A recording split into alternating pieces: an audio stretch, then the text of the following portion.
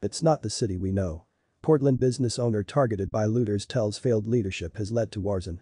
A Portland jeweler whose store was ransacked amid ongoing protests has lashed out at local officials, saying they have failed to adequately respond to looting and that, as a result, the city has changed for the worse.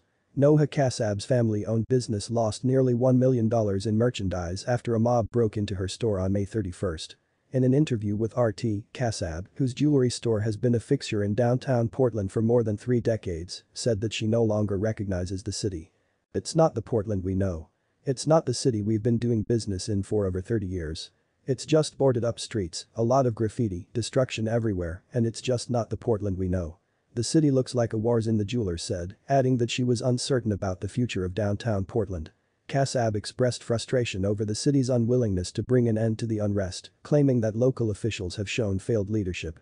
She has yet to be contacted by Portland officials over what happened to her store.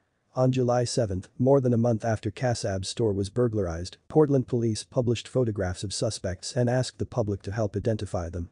The business owner stressed that, while she fully supported the right to peacefully protest, there is no justification for looting and the destruction of property. That is completely different than protesting Kassab told RT. She noted that the police had the difficult task of protecting the city from further lawlessness. It's not safe to be in downtown Portland and I feel bad for law enforcement right now because they have a big job to do. And Portland is a mess right now. The city has become a flashpoint for the Black Lives Matter movement.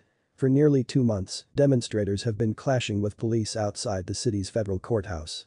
The arrival of federal agents charged with protecting the building has led to accusations of unlawful kidnappings and other tactics. In turn, demonstrators have become increasingly violent. Last week a mob broke into the office of the Portland Police Union and lit a fire. Don't forget to subscribe to the channel, like and share this video.